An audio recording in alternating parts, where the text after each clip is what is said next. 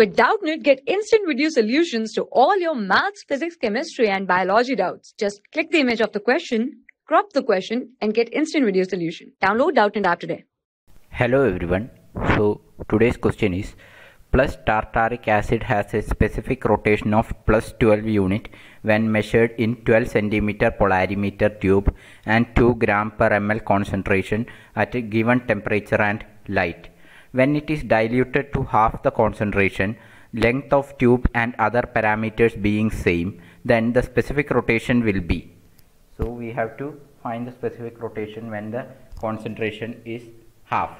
Uh, so uh, the specific rotation uh, has a formula like this specific rotation at a particular wavelength and temperature is given by the angle of rotation by concentration into length.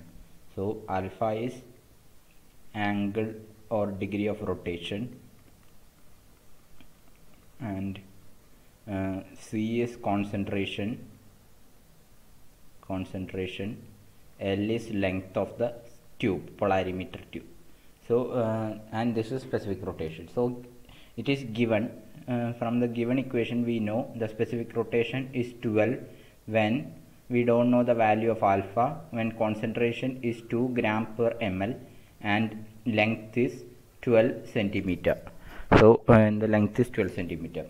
From this we can find the value of alpha. Alpha equal to 12 into 24 which will be equal to 288 it will be 288 so we get alpha. Uh, then once we find alpha now we have to find uh, the specific rotation alpha dash let's say it's alpha theta prime uh, or the other parameters are same. So alpha theta we can put it as alpha dash which is equal to uh, we have the same alpha and the concentration is uh, diluted to uh, half.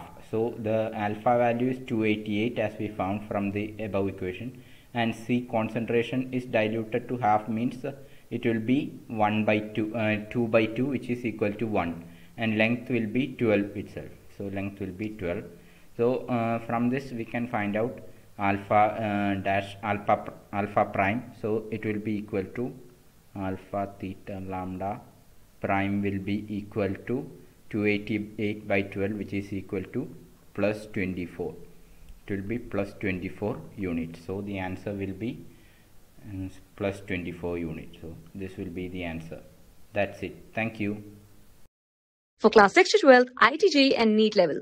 Trusted by more than 5 crore students. Download Doubtnut app today.